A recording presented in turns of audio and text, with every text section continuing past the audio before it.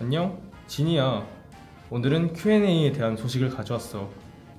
이번 Q&A는 송이 대신 내가 진행할 거야. 너무 좋지? 아!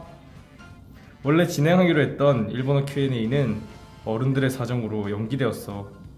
그 대신 이번에는 샤이닝스타 유튜브 채널에 관한 질문을 받으려고 해.